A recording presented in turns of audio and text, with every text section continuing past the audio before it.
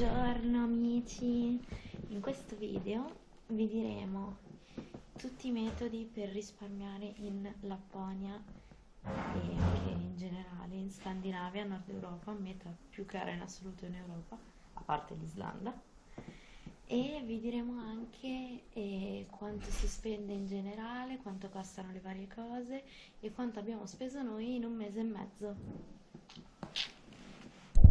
Parliamo di accommodation in Lapponia. Le accommodation sono devastanti, sono la cosa più cara a cui devi far fronte quando vuoi fare un viaggio in Lapponia. L'hotel più scrauso e più economico non costa meno di 70 euro a notte. Cioè, è proprio impossibile e noi li scoviamo sempre quelli più economici. Non c'è verso. Però c'è un lato positivo. Hanno quasi tutti, quasi sempre, il bagno privato, perché qua la cosa del bagno in comune ho notato che va non va, e hanno quasi sempre la sauna sem- inclusa, diciamo, nel prezzo, perché qui la sauna è una specie di istituzione. E poi che altro dire dell'accommodation? Ah, un'altra cosa che va molto è la cucina. Di solito Oltre alla camera c'è sempre una cucina, un'area comune dove puoi cucinare o perlomeno mangiare con piatti, posate, delle cose che ti compri, quindi è una buona cosa per non andare a cena fuori, perché anche i ristoranti se ne parla in un prossimo mini capitolo, ma lasciamo stare. Quindi sì, le accommodation sono belle e ben organizzate e con tanti comfort, però sono care. Allora, parliamo anche di attrezzatura perché l'attrezzatura è una di quelle cose che costa e che serve per un viaggio in Lapponia perché non puoi venire in jeans o in tuta o in leggings semplici, non puoi, e neanche in felpa normale. E quindi l'attrezzatura è una di quelle cose che costa e che può essere boh, un deterrente, costa troppo, quindi non ci vengo. Eh. Allora, io, soprattutto io dico, perché lui non legge mai niente, io mi ero informata un sacco nei vari gruppi, nei vari blog, nelle varie news, su quanto potesse costare l'attrezzatura e su che attrezzatura prende effettivamente. Avevano detto calzini in lana merinos, avevano detto intimo tecnico, che sarebbero pantaloni e maglietta, avevano detto tanta roba di pile, avevano detto scarponcini impermeabili e caldi, giacconi, poi che altro? Che, guanti, muffole, perché le dita a contatto sanno molto meglio rispetto alle dita separate e alla fine però leggevo dappertutto che dovevi spendere 700-800 euro di attrezzatura. Eh, cosa che non è assolutamente... Cioè, se tu non spendevi questi soldi, prendevi dell'attrezzatura scadente e saresti morto congelato. Non è vero. No, cioè, allora, chiaro, non siccome noi non andiamo spesso in queste terre artiche, non avevamo voglia di spendere uno stipendio per dell'attrezzatura. Perciò abbiamo detto, boh, proviamo a prenderla un po' meno costosa siamo andati praticamente solo da Decathlon a prendere la nostra attrezzatura. Sì, praticamente solo da Decathlon e qualcosina da Amazon. Abbiamo preso tipo questi pantaloni che sono anche quelli che ha lui. No, non sono pantaloni, sono, sono intimo tecnico. pantaloni a intimo tecnico. Sono costati 5 euro. E anche la maglietta. In 10 euro ci siamo messi in due. Pantaloni e maglietta entrambi. Poi abbiamo preso i calzini di lana merinos che sono stati la cosa più cara che abbiamo preso rapporto, perché sì sono stati abbastanza cari questi, ma i calzetti servono perché se hai freddo ai piedi hai freddo a tutto il corpo, non importa sì, come sono costati 25 euro come sei paio, vestito. Quelli, quelli sono effettivamente cari. Però se hai freddo ai piedi hai freddo a tutto il corpo, quindi è meglio così. Poi abbiamo preso i pantaloni apposta, i pantaloni termici, tecnici ne abbiamo presi due paia a testa. Ah, questo è il meno caro in realtà, quello che avevo oggi. E questo costa 20 euro. L'unico difetto che gli trovo è che non ha le tasche, ma per il resto sono ottimi, sono, tengono molto caldo. E ne abbiamo presi due paia a testa, sempre da Decathlon. E anche lì, cioè, quello che è costato di più è costato 40 euro il paio.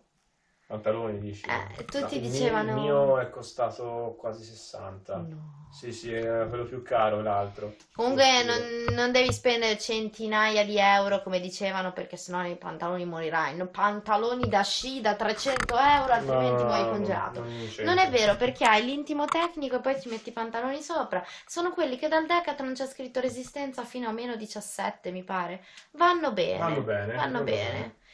E Anche poi... il discorso muffole, io questi guanti li ho presi a Tallinn in realtà. Sono costati 3,50 euro, ma sono di lana spessa, sono grossi, molto pesanti, quindi vanno benissimo. Non ho avuto freddo alle mani finché non me li sono tolti per fare le foto. Anche io avevo i guanti non muffole, ma sempre dei guanti di lana presi da OVS, pagati pochissimo, e non ho avuto freddo alle mani, quindi siamo stati abbastanza bene. Poi comunque le mani quando non le usi tieni in tasca, eh, perché aiuta anche se hai i guanti. E poi tanta roba di Pile, anche quella del Decathlon, perché quello lì è un golfino di Pile del Decathlon, io ce l'ho uguale da donna. Pile, Pile, Pile, non Sì, serve spendere... sui 20 l'uno. Sì, non 20, serve 25. spendere un bordello di soldi, basta che prendi della roba in pile. Anche questa è una maglietta del cavolo in pile, il pile tiene caldo. Evitare il cotone perché non tiene caldo. Pile, pile alla- a manetta. Pile anche il passamontagna. Su Amazon 12 euro due passamontagna, c'era l'offerta. È rigorosamente in pile anche questo e tiene un caldo indegno, soprattutto alle orecchie, al naso e alla bocca, che sono le parti scoperte dal cappello spesso. Infatti poi mi farà freddo questa parte qua, eh, non credete, però insomma. Poi il cappello basta un berretto normale da inverno e la sciarpa uno sciarpone normale da inverno. Il giaccone, sì, serve un giaccone abbastanza pesante. ho Ce questo. n'è di vario tipo. Io ho un refrigerator, lui ha un giaccone ereditato dal babbo. Sì, quindi non so quanto viene, mi dispiace, so, eh, Però sì. So quanto viene. E preparatevi perché nei posti al chiuso sparano il riscaldamento a manetta, quindi bisognerà levarsi degli Ah, a proposito, occhio ai treni. Occhio ai treni. Io non ho sofferto mai così tanto per un riscaldamento come sui treni Comunque, qua. insomma, questo piccolo sketch è servito a dire che non è vero che bisogna spendere 1000 euro a testa di attrezzatura per un viaggio in Laponia. Non è vero, va bene anche il Decathlon, basta che sia pile, che sia roba calda, che non andiate in jeans che vi mettiate più strati, semplicemente. Tutto qua. Allora, parliamo dei mezzi pubblici. I mezzi pubblici in Lapponia, come in tutta la Scandinavia, sono cari, anzi sono ancora più cari in Lapponia perché un autobus che ti porta da una cittadina a un'altra può costare 30 euro in due e l'autobus di linea cittadino, ad esempio per andare da Rovaniemi al villaggio di Babbo Natale, costa un casino, costa 4 euro a persona e fa solo 8 km andata e altri 4 al ritorno e i mezzi pubblici in generale costano un casino, tram, bus, eh, proprio interni nelle cittadine, un pelino più convenienti i treni a lunga percorrenza che come prezzi sono più accettabili perché sono treni che comunque fanno ore e ore di distanza fra una cittadina e l'altra e costano meno in proporzione. Ad esempio il treno Helsinki-Rovaniemi è costato 99 euro in due, ma sono 12 ore di treno, quindi in proporzione sono più convenienti le lunghe percorrenze che spostarsi ne- nelle brevi distanze, diciamo. I mezzi pubblici sono questi. Noleggiare una macchina secondo me non è proprio consigliatissimo perché c'è sempre ghiaccio e neve perenne sulla strada, quindi devi essere abile a guidare e poi comunque credo che costi perché devi prendere una macchina di un certo tipo e noleggiare una macchina costa. Ecco, non so se si è sentito perché ha la mascherina, ma la benzina costa 2 euro al litro, che per loro, con gli stipendi che hanno, ci può stare, ma per gli stipendi nostri... E parliamo dei ristoranti in Lapponia. Avrei voluto fare questo video al ristorante, ma mi sono scordata perché davanti a me avevo un panino veramente buonissimo. E quindi non ci ho pensato. Ma ti hai portato la GoPro? Nemmeno, perché Ah, proprio dal ecco, panino. ok. E i ristoranti, allora, noi in Lapponia il ristorante l'abbiamo evitato come la peste, lo stiamo evitando come la peste e lo eviteremo come la peste, perché i ristoranti sono cari, cari, cari, cari. E, cioè, sarebbe uno spreco di budget assurdo. Diciamo che perché... la cucina lapone non sembra neanche malvagia, No, sì, ti sembra piace buona. la carne, perché cioè, vi renderete conto che vegetariani non si può essere in un posto dove non si può coltivare niente.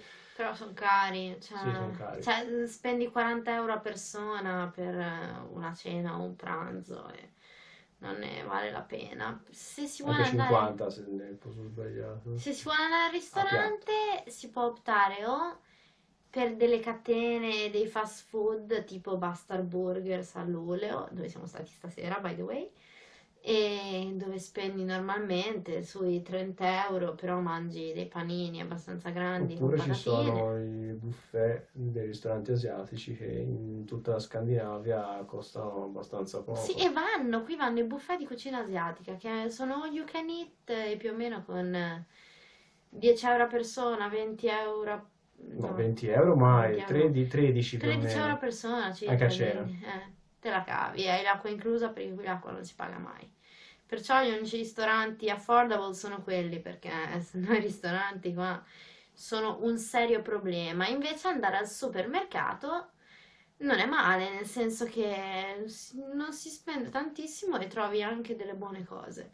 Perciò è un'alternativa molto valida. Attrezzatevi con eh, luoghi dove ci sia una cucina o dove ci sia dei piatti, robe così, perché al supermercato si risparmia.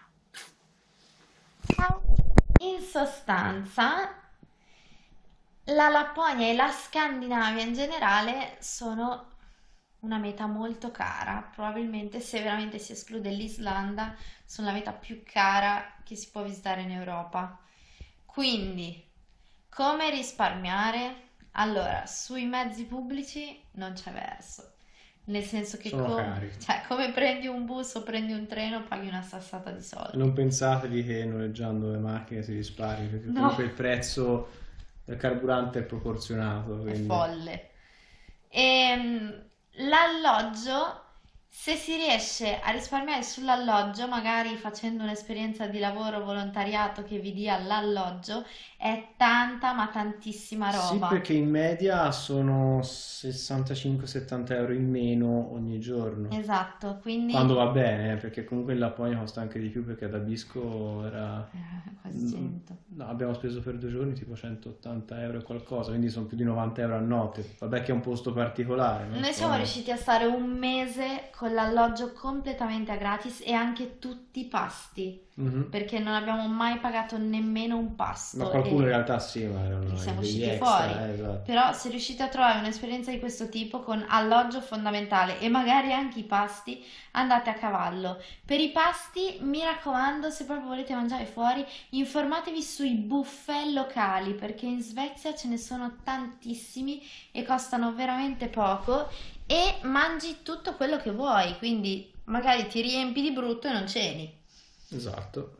Quella è una buona cosa perché anche i pasti sono stracari. L'acqua, mi raccomando, non compratela No, perché è, è- l'acqua è potabilissima quella dal rubinetto, è anche meglio di quella in bottiglia. è buonissima, risparmiate i soldi dell'acqua e poi boh. se volete venire qui e prendere bus e treni per vedere i posti e magari pagare anche qualche attrazione, tipo slitta sui cani, villaggio Eh, di che fai, non la fai la slitta sui cani? Spenderete, cioè non c'è verso. Noi con un mese di alloggio gratis e un mese di pasti gratis non ci siamo comunque privati di andare ogni tanto a qualche buffet locale, non ci siamo privati di visitare posti, quindi prendendo treni e autobus, non ci siamo privati di fare esperienze tipo slitta con i cani, tipo villaggio di Babbo Natale. Poi cosa abbiamo fatto? Un po' di cose le abbiamo fatte. Se no che cavolo c'è da fare in giro? Va bene l'alloggio eh, gratis, eh, va bene in scusami. Spagna, però noi non ci siamo privati di qualche pranzetto, cenetta, di qualche attrazione e nonostante l'alloggio gratis per un mese, in un mese e mezzo totale di Scandinavia abbiamo speso poco meno di 2000 euro, che è tanto. È tanto tanto, ma è impossibile fare di meglio in questa zona. Comunque considerando che sono compresi alloggi, mezzi, Cibo. cibo, non sono neanche, non è neanche così male. Però con un mese di alloggio e vitto gratis. perché senza quel mese No, senza quel mese ne avremmo spesi molti di più. speso molto di più. Non è una meta low cost, non è una meta per backpacker, ma volevamo vedere l'aurora boreale e volevamo fermarci qui, quindi l'abbiamo fatto. Eh, Sicuramente è un budget elevatissimo che in altre zone del mondo No, no, è tantissimo per altre zone. esagerato. Però, YOLO! È così. Allora, alla prossima amici, alla prossima avventura che sarà super figa e completamente diversa da quelle viste finora, completamente diversa. Anche perché se devo fare una cosa uguale, te la faccio fare.